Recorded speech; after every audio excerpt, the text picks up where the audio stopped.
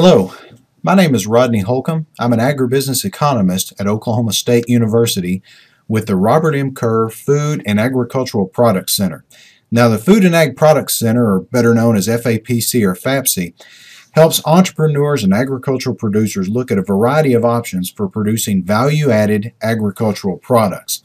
One of the tools that we have is a feasibility template for a fresh beef packing plant. This may be useful to entrepreneurs and agricultural producers looking at operating a beef packing plant for the marketing of branded beef or uh, all-natural beef, organic beef, uh, whatever the situation may be. This template allows users to examine the economic viability of constructing, equipping, and operating beef packing plants of various sizes. Now, if you go to FAPC's website, which is fapc.biz, click on Services and Disciplines, then click on Agribusiness Economics. Now, if you scroll down to the right side of the page, you'll see a link that says Mid to Large Scale Fresh Beef Packing Plant Feasibility. When you click on that link, it opens an Excel spreadsheet that you can download at no cost and save.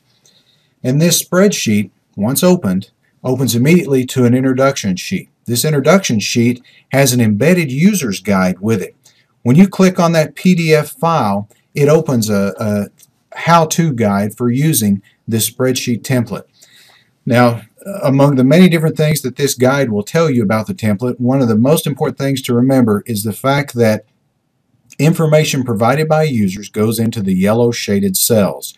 Every other cell in the template is password protected to prevent it from being corrupted or having formulas messed up by users. Now, when you open this uh, user's guide after you've read it and you're ready to start using the template, you can go to the quick link for start using the template. And throughout the spreadsheet, you'll find these quick links that allow you to quickly and easily maneuver around the spreadsheet. When you click on Start Using the Template, it takes you immediately to the Operating and Production Assumption sheet.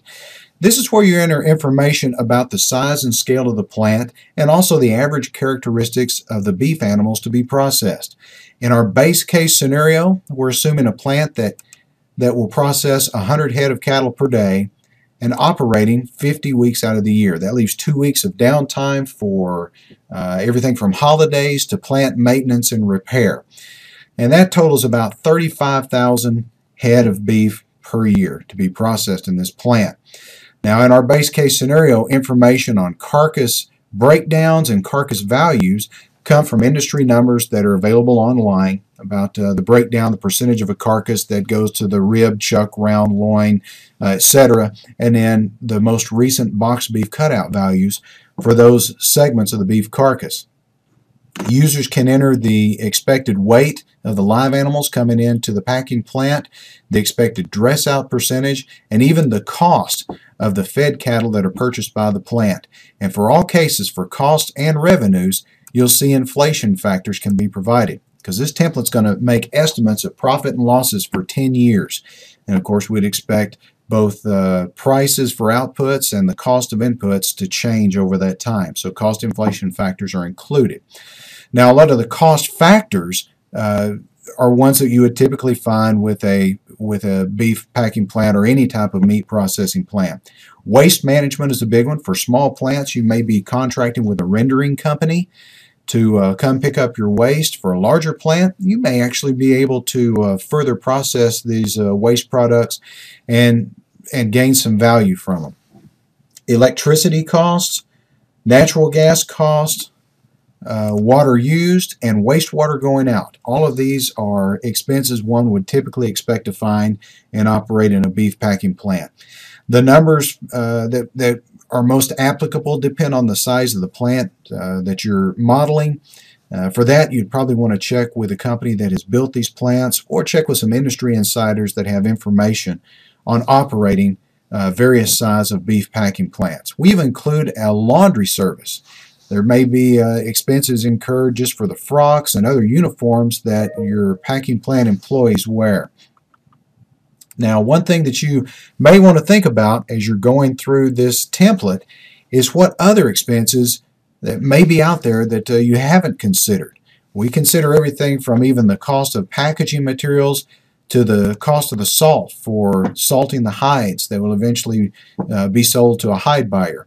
But there may be additional expenses as well, some general administrative expenses that include food safety uh, expenses, microbial testing kinds of things, the accounting expenses, legal expenses, even association memberships or uh, who knows, uh, throwing monthly birthday parties for employees whose birthdays take place in a given month. There are a lot of options for expenses that may be incurred, and this general administrative uh, expense category allows you to kind of lump all of those together.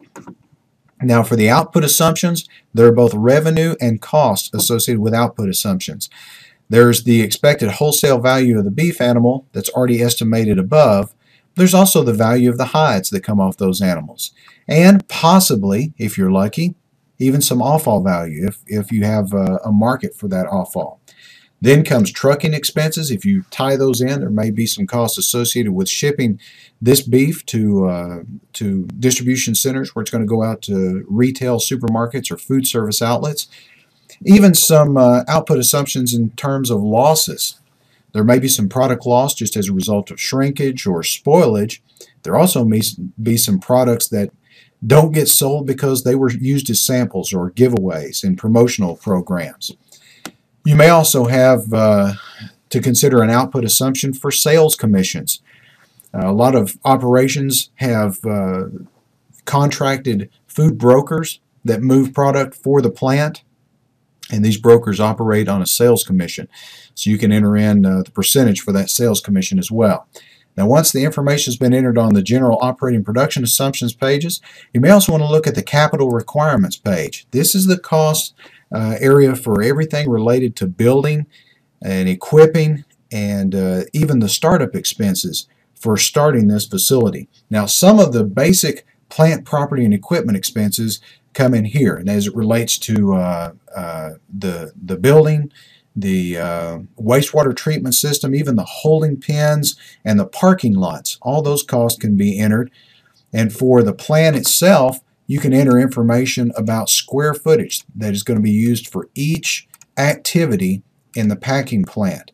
Now some of these uh, square footages may be for refrigerated space, some for non-refrigerated space.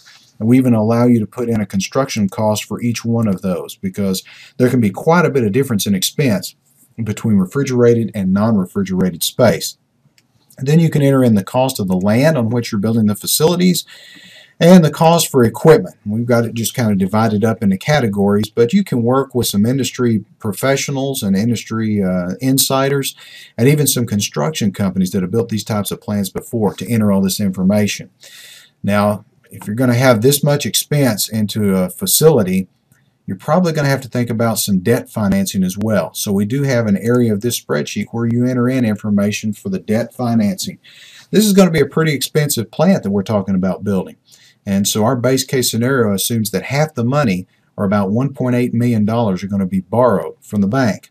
And you can enter the terms of the loan, the interest rate, and the number of years for the loan to be paid back as well. We even have a loan amortization page that figures out all the principal and interest payments for you as well. Now going back to the capital requirement sheet, we have uh, areas where you can enter in uh, working capital information for pre-construction, because if you're going to build a facility that's going to be a USDA inspected meat processing plant, a lot of permits, a lot of expenses take place before you actually even build the facility. We even have uh, considerations for labor and marketing expenses and just construction general and admin administrative expenses for before the plant's built during that uh, construction phase. The other financial considerations that we enter on this sheet include the discount rate for net present value calculations, That'll be utilized on our return on investment sheet. We also have a seasonal loan interest rate. Uh, most plants will have uh, an operating line of credit with a bank, so so much money that can be borrowed within a given year and paid back within that same year. So that short-term borrowing, uh, this is the interest rate for that. We even include tax rate, depending on how your business is structured you may be subject to uh, varying levels of income tax rates. So this is where you can enter that information. Another big expense category for a beef packing plant, labor costs. Now, these labor costs uh, can vary. You have some that are direct labor expenses and some that are indirect labor. So things such as the plant manager, production manager, you may have just one person or you may have one per shift. You may have uh, uh, operators, uh, a varying number per shift. The overtime bonus category, uh, if you expect that uh, that these employees or certain categories of employees may work a certain amount of overtime and percentage overtime for the year, you can enter a number there. If you wanted to include bonus payments uh, for year-end bonuses and work those out as a percentage of annual salaries, you can do so. Salaries and benefits are combined. There's even an area to put in a benefit or fringe rate because you as the employer will pay not only the uh, the wage rate to the employees but also many things such as workers comp um, your share of FICA taxes etc we even include a labor inflation rate factor as well. Now this is not the last area where where uh, input is required from the user. There is one other place on the revenue sheet now, generally, in most uh, spreadsheet templates like this, revenue generation would just be set. There wouldn't be anything that could be adjusted by the user. However, for beef packing plants, something that needs to be considered is plant capacity utilization.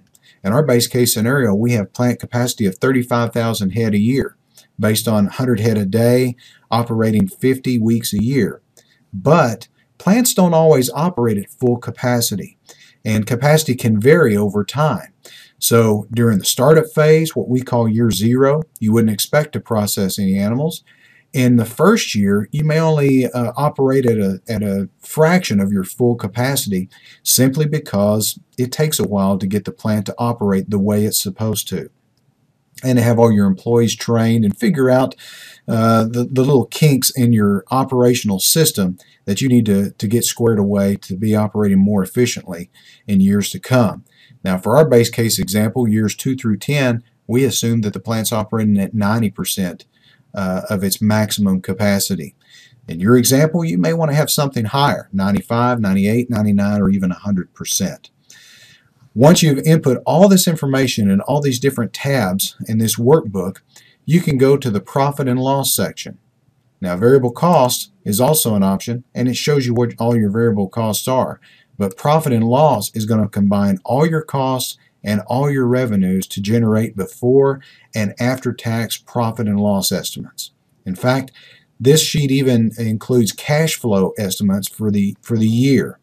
So adding depreciation back into net profit or loss, subtracting out uh, principal payments on loans, and even an area for capital additions. So just assuming you're going to make some improvements on the plan each year, just modifications. So that gives you an end of year net cash uh, position. And so it, it assumes for each year what your net cash position would be, which is going to be different from your net earnings. All this information gets rolled into the return on investment tab. This return on investment tab analysis, uh, analyzes the returns on this investment in a variety of ways. One is net present value using the discount rate that was entered on the capital uh, uh, requirements sheet. And for our base case example, using a 12% discount rate, our net present value of this venture over our 10-year projections and the startup year is a little over $3.5 million. The internal rate of return on this project is 31.42%. The spreadsheet will even estimate annual returns on assets and annual returns on beginning equity and even provide an average over the 10-year span. You also notice payback period. This is a pretty expensive plant, well over $3 million of your money and the bank's money going into building our base case scenario plant and equipping it. So what this estimate is telling you is that it's going to take eight years of net cash flows to generate that three plus million dollars it took to build this plant, to get all the plant property and equipment at the startup point. Uh, this just helps you kind of analyze how long it takes for the plant to pay for itself overall. I hope that as you use this template that uh, it will seem fairly easy to use. However, if you have any questions, on the introduction sheet, you'll notice close to the bottom, I do have my contact information, so you can contact me by phone or by email if you may have any questions.